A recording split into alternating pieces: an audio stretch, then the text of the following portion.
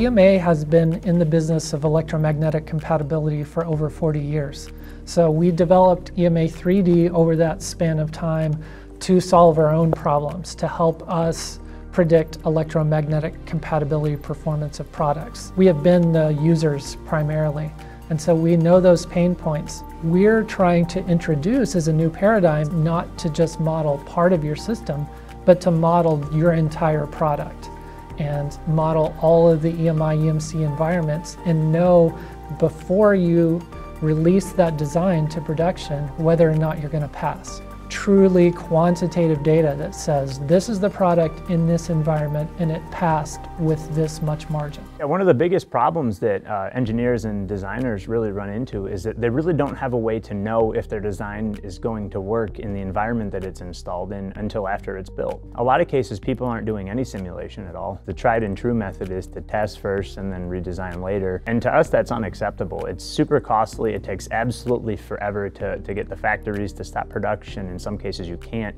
And, and a lot of times those that are actually doing simulation are only solving part of the problem. You have to take into consideration how it's installed, the other components that are around it, the cables, the power, and so on. The earlier that you perform simulations, the more likely you are to succeed. It, it happens across all of the industries from aerospace to automobiles to rail to space effects. Uh, it really is the only tool that we can really use to predict what's going to happen when things are in operation. If you've already built a prototype, you've already put in hours upon hours of design time and meetings and reviews to get to the point where you've got that prototype.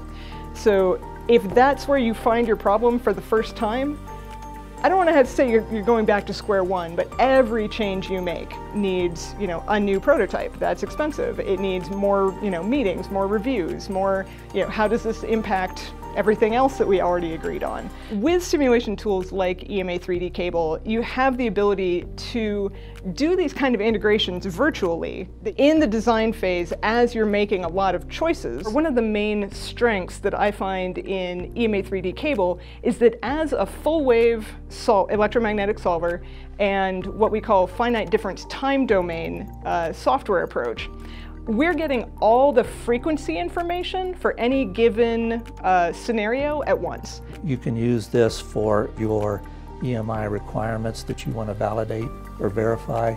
You can use this for ESD simulations, you know, the RF um, antenna coupling issues.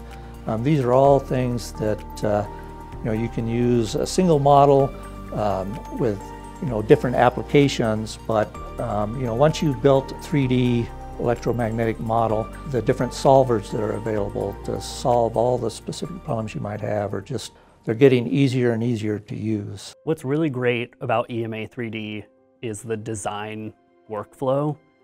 So we can get really complicated CAD. Instead of taking six months to clean it, it takes just a few days, if even that. When customers are using our software, they're not just getting a simulation software. They're getting EMA's 40 plus years of experience solving electromagnetic problems. EMA 3D allows a brand new user to get up to speed on the product more quickly than other tools, and it allows an expert user to model the entire product. The first step is to import the mechanical CAD.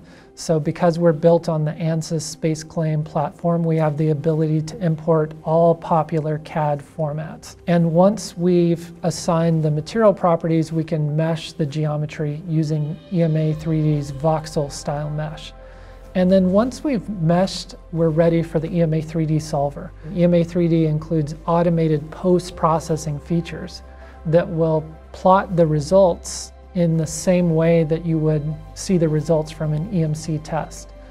We're about a factor of 10 faster in building the model and running it compared to a competitive product. And that can be a big deal. If we're talking about five days that's reasonable engineering process. If that becomes 50 days, that becomes impractical. Almost every electronic device has some form of electromagnetic compatibility requirements.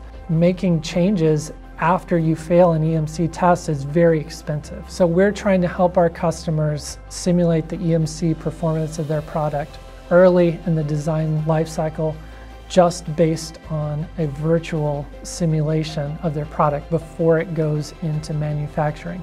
And we want to enable them to do that in the shortest period of time so that it fits practically into their product development lifecycle.